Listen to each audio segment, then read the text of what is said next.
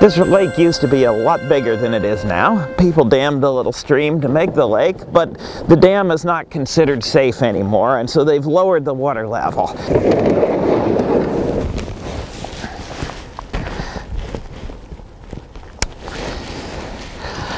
it's going to let us see some of the things that happen under a lake. And so we're going to go for a little trip here to find out how fossil fuels are made.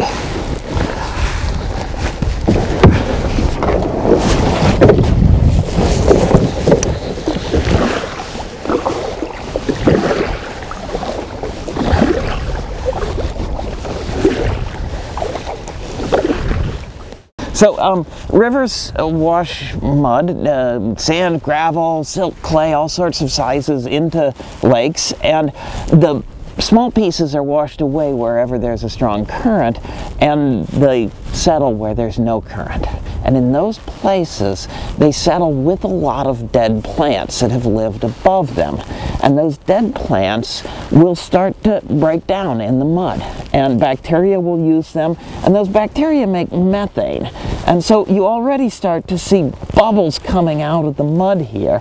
That actually is the first step in making fossil fuels. This is the bacteria making methane, but later the heat of the earth will make methane. So if you take mud like this and you buried it with more mud, and then more mud, and then more mud, and then it starts being heated by the heat of the earth, that dead organic matter down in there will start making oil to go with the, the methane, the natural gas that we see coming off of here.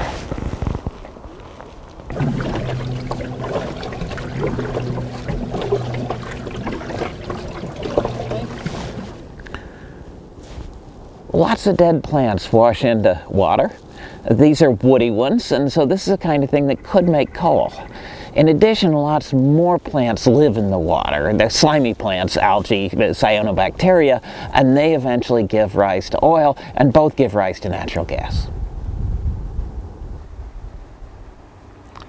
So sometime way back in geologic history, there was a nice ocean, warm, not a lot of oxygen in the water because it was warm, lots of plants growing at the surface, but that oxygen bubbles out to space. And then the dead plants and mud settled to the bottom in layers. And those layers can become thousands of feet thick. Worms try to eat the dead plants that are falling down, but when they run out of oxygen, a lot of the dead plants are buried. And then, as the heat of the earth cooks them, they make oil and gas.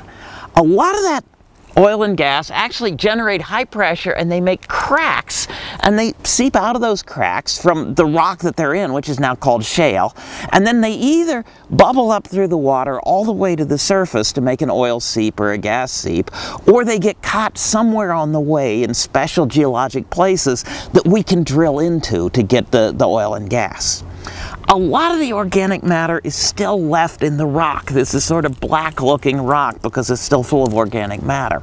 And what we're learning to do now is to break up the hard rock like this to make it more like this loose stuff. And they do so by drilling through it, not with a chisel, but with a real serious drill, pumping fluid in at very high pressure to break the rock. It's called fracking. And then the oil and gas can go all to those little cracks and you can pump them out and use them.